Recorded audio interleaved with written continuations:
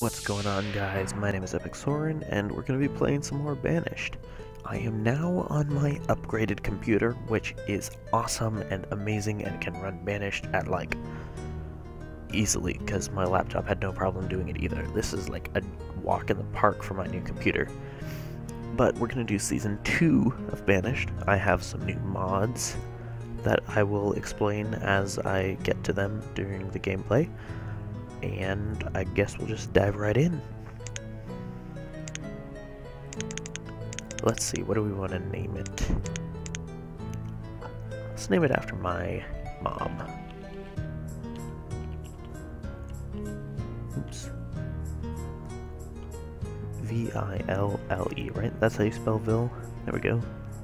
Name it after my mom. Now the first mod I have here gives me a couple more um, options for uh, where we're going to be building, and uh, one of those, normally we only have valleys and mountains, right?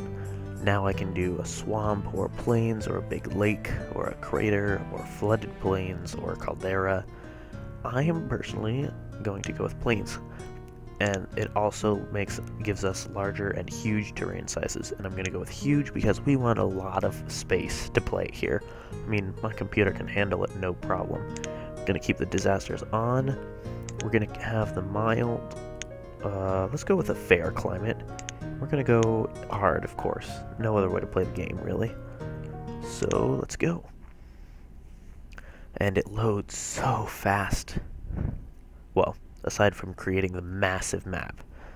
Creating this map takes about the same time as it took my laptop to create a small map. Hmm, a little tired here, but we'll see how how well this uh, this goes. Stocking the rivers with fish, waiting for herbs to grow. It's gonna take a while already, so right off the bat we're gonna go pause, and I'm gonna pop up my boxes here, my professions tab, my event log, and my um, what do you call that? The general statistics tab thing. Yeah.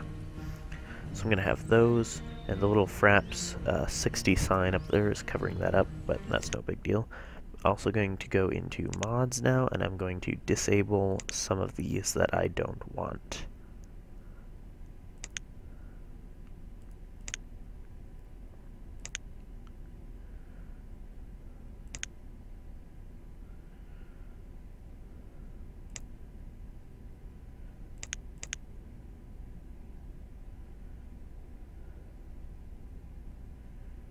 Okay, there we go.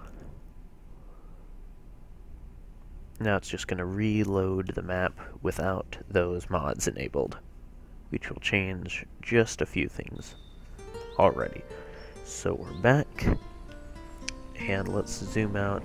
Awesome, we got a lake right here. That is going to make this game much easier than the past couple ones I've been doing. So first, right off the bat, we're going to go place down a fishing dock right here on the coast of this lake. Set it back onto the land as far as possible. And gonna go ahead and just lay out some basic roads here. Do that, and then I'm gonna put down a stockpile.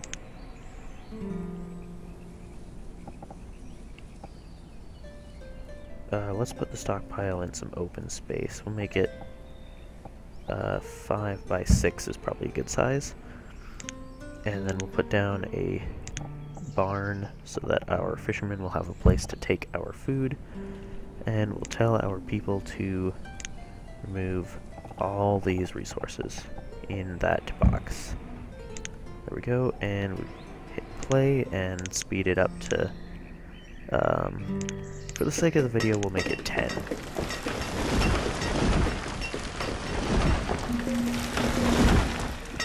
Stone and logs are low. Yes, I am aware. Alright, we need to assign some builders. We only really need two because two gets the job done just fine.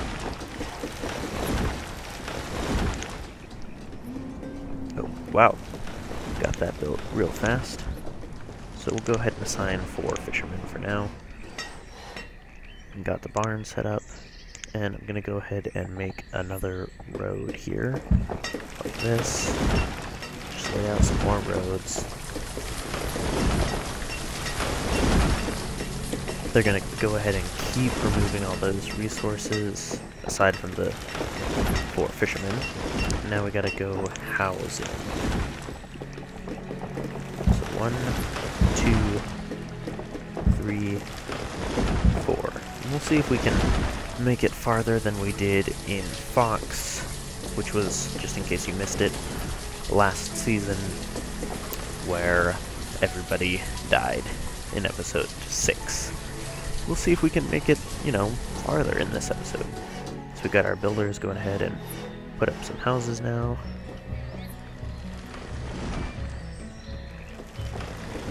So we got one family moved in, the two, two of the fishermen, which makes sense, and their two children. That's good. We got children right away. Very good. Is nobody gonna, you know, do their job? Oh, right, right. They're gonna go ahead and clear out this stuff. The laborers will, before they go ahead and clear out all this stuff. Probably just build that one right there because they could right away. Okay, so it looks like we're gonna have our new houses up really quickly.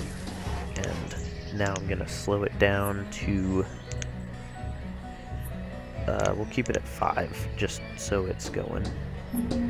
Gonna give us a new camera angle. So we got our nice little town of Lyndaville here, named after my amazing mother. Happy Mother's Day, Mom. It's not Mother's Day.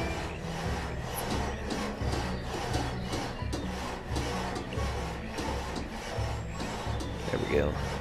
There we go. So we got our four houses set up. Um, next thing we need is a woodcutter.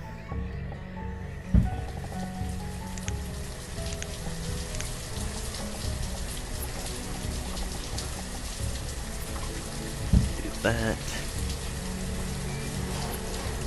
Alrighty. And the builders will get that put up right away, I think. And we also are going to want a gatherer's hut, because we can build one of those right away too. Just go ahead and plop that down out there in the woods. Because they need firewood right away. And all we have to eat right now is fish. So we got 2,000 fish. We should not have a problem with that. Nice thing about this computer, 1080p. Sad thing about this computer, 1080p. So the file's gonna be huge. Take forever to upload. Alright, so we got our one woodcutter there. We're going to back off to... Uh, actually, no, we can keep two builders around for now. But after we get that gatherer's hut built, I think we will call it an episode. A child named... I don't even want to try and pronounce that. A child was born. That is good. Who had it? Who had the baby? They did. These people need to start being productive members of society. Reserve of firewood is low. Yes, I am aware. And dang, they are pumping out the fish. We're just gonna fill up the barn with fish at this rate. And where is the... There is. My mouse is so sensitive in this computer. I love it. I have this new keyboard too. You guys want to see my new computer, like see what I put into this thing, let me get let me know in the comments, and I will go ahead and tell you guys what is in this baby, because it is a bad computer. I mean, like it, bad isn't the good way, you know, like like sick or wicked. You know what I mean? Nobody talks like that anymore, Soren. I'm sorry. I'll be quiet. Okay, how's our gatherer's hut going? We got our builders working on it. Yes, we do. That is awesome. I guess I could go ahead and put down a hunting cabin behind it. Or next to it. I guess we might as well, right? So I'll put two of our people into gathering. We're just, everything needs to go into food production at this point of the game. Everything. I mean everything.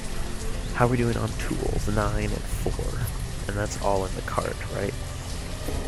Yeah, so if I go and I say to remove the structure, basically to put the cart in here, it's going to tell me tools is low and clothing is low and all that because now this cart doesn't it doesn't think we have anything in it. So anyone on their free time is going to go put stuff in the shed, at least they should. And our one builder is going to go ahead and clear that all by himself, and anyone with free time which we don't have any free time right now because everyone is focusing on mass producing food. Dang, we're already halfway to the food limit. I'm not going to raise that right away because we just don't need to. No one is turning into laborers fast enough.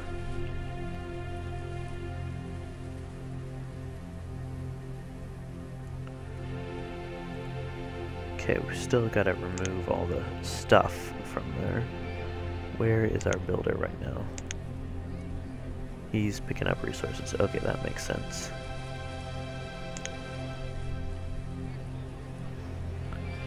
As soon as spring comes around, we will call this an episode. Right now it is early winter. We already have people without tools. Right, because nobody's gonna empty that right away. I guess we could just use all the stuff out of that right away.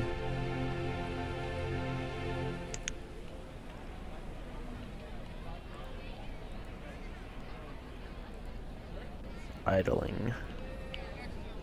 Already. why don't you have a tool?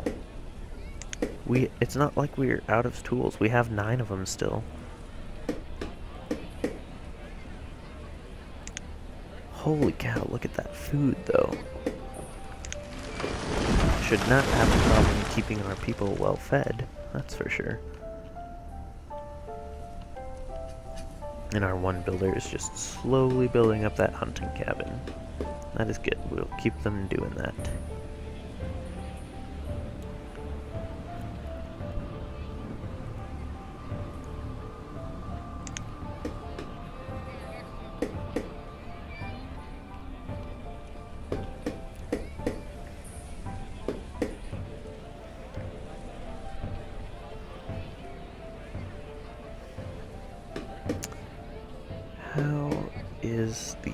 Oh, that's awesome. We got another laborer, which is good because then that person should come help clear up this stuff. Is working. Looks like she is, whoa. Oh yeah, the autosave causes it to kind of freeze up for a little bit. Looks like she's going out there, right? That's our laborer. Our one laborer, yeah, picking up resources. Alrighty, so we got the hunting cabin almost cleared off. It is now late winter and we hit the food limit and the firewood limit. We're going to bump the firewood limit up to 500 and we will let our fishermen uh, work as laborers right now, which is really nice. They work as laborers when they're not uh, fishing, if they hit the limit like that, which is good. How's that going? How much are they producing? 412 one season. Dang. Okay, so gonna bump this up to two builders so we can get that hunting cabin built preferably before the end of the episode. got a whole bunch of babies being born, which is awesome. These people are now productive members of society, and we've got people turning into laborers. And we'll have another one of them turning into a laborer real soon, so I'm going to go ahead and have them build one more house. That way we can have those people turn into families as well.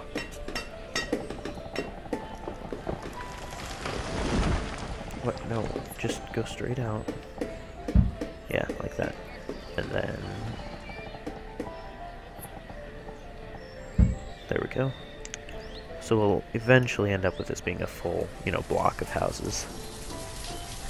Nobody's producing wood right now, so everyone's kind of just idling around, which is perfectly fine. I mean, we've got way more food than we can, you know, possibly use. I'm gonna bump one of them back to labor just in case somebody, you know, dies of childbirth or something. And since we're on this main river, we're going to want to build a trading post ASAP so we can get some seeds and stuff. And I think we're going to use firewood as our main source of trading. And they're not going to do any hunting either because, like, like I said, we're at the food limit. I guess I could just go ahead and bump up the food limit. There it is. Oh, there it is. Okay, 6,000. Just bump it up a little bit so people actually go do stuff. And yeah, there we go. That person, Jade, that turned into a laborer is now living by herself until August, probably. Or Millie. That is a girl's name. August or Millie. Whoever turns 10 first will probably move in with Jade. Uh, right? That's when they turn into laborers unless they go to school, right? At 10? I don't quite remember. Well, it is springtime now, so I'm going to go ahead and wrap up this episode. Thank you guys so much for watching this first episode of Season 2 of Banished in Lyndaville this year, or this season. August has become an adult and is working as a laborer, and he moved in with Jade, of course. Love you guys, peace, thank you so much for watching, and bye.